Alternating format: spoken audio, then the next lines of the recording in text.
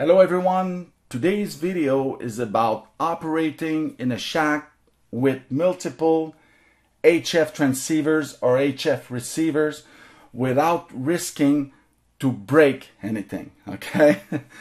if you have a very sensible equipment, HF equipment receiver on an independent antenna and a transceiver on another antenna and you transmit like me at one kilowatt, there's a big chance that you will blow up your radio, your, your receiver because of the RF that's going to get in. Okay, the signal will be too strong. So you have to be very careful and you need to read the manufacturer manual. I did in the past contact a manufacturer and asked him if it was okay with my setup and if there was any risk of blowing the radio. Okay, so this is important. I I I have a lot of HF transceivers. I love radios, okay? It's like people, you know, they, they collect cars. I collect radio, okay? I like that. And I don't want to blow my radios. So I have a system that works for me, okay? And you have to be very careful. This is a disclaimer, okay? Check everything twice and be sure do not make any mistake with that because you can blow your radio, okay? But my setup, I've been set up for a few years and it worked great. I never had any issue, okay, with this setup because I took very good care. But there is some sacrifice doing that, okay? Let me explain. Outside, I got my urban beam, which cover from 6 to 40 meter. I also have my 80 meter antenna, okay, which is a inverted V dipole they all come in into a switch. RCS 8V also have a video review on that. That I modify so when an antenna port is not selected, it is go, it, it's going to ground. Okay, so the unused port are ground by default.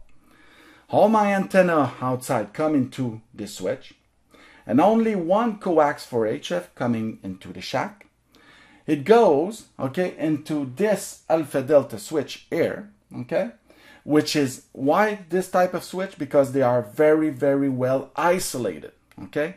And every time you select an antenna port, the other port going to ground as well. So I have outside all my HF antenna coming in the shack, uh, coming in, uh, going into the switch, okay, outside and all uh, only one cable of all for all the antenna are coming in the shack. This cable goes into the switch here, okay, so on the antenna port that you can see here, and my HF radio are connected on the other port. So when I select an antenna port here, okay, what's gonna happen is I put all the other port to ground. And when I select a radio, the unused port are to ground as well. So I have double protection. So there's no second antenna that can bring RF into my shack because all the port are to ground. There is no other antenna connected to my HF radio. And when they're not used, when I'm using one and not the others, the, the, the antenna port is to ground as well. So this ensure that I have Two protection. No RF can come in the shack. There's no antenna, other antenna picking up RF, bringing that into another radio. When not used, all the antenna are to ground. And when not used, all the transceiver are to ground. Okay? So this is how I work. Also, as a precaution measure, you can see here, I got the 7300. I don't use 6 meter very often, okay? So I always put the radio before I shut it down to 6 meter.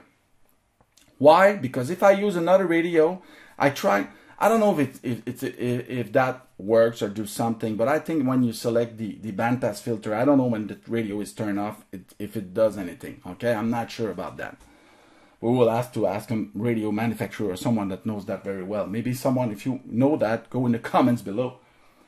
But I do that because I, I usually works on on 40, 80 meter and 20 meters. Okay, so that's my main HF band. So I try to to put the other radio on, you know, try to select a band that is further away as possible from the others, okay? So it's just another precaution measure.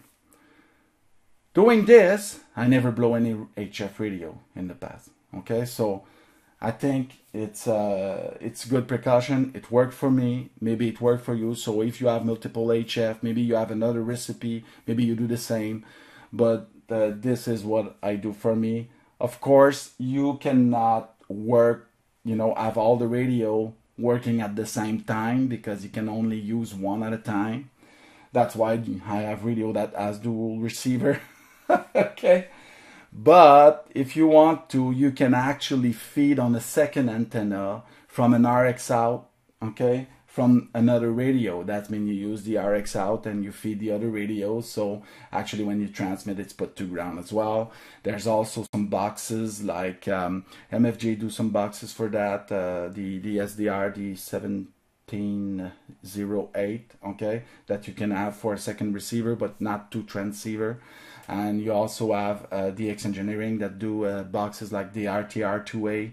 I used to have the RTR1A, and I was able to use two HF radio at the same time, even on the same frequency. And when I transmitted, you know, the signal was S9 on the other one, with which was on the same frequency. So this worked very well too. But uh, depending on your setup, I don't have any use of having all the radio working at the same time because I have a problem even listening to two receivers at the same time. So if I'm working on radio, I usually shut down the volume on the other. So it doesn't matter to me. But at least like that, if I want to try and I feel like using the 7300 or the MP1, you know, I just switch and that's it. So hope this was useful for you. So catch you some other time. If you're not uh, a subscriber already, please subscribe. Do a like. This is important to promote my videos to others and it helps and your support is very much appreciated that's only the only thing i ask you if you can if you enjoy this my videos please subscribe and share share with your friend and also if you are a subscriber you can check on that notification bell to be uh, notified as soon as a new video is online so you will be noticed as soon as a new video uh, come out so uh, that can be uh, great if you want to know uh, what's going on you know in in my uh, shack so that's about it. So I hope you enjoyed this video. On that, I'll say 73 and catch you some other time.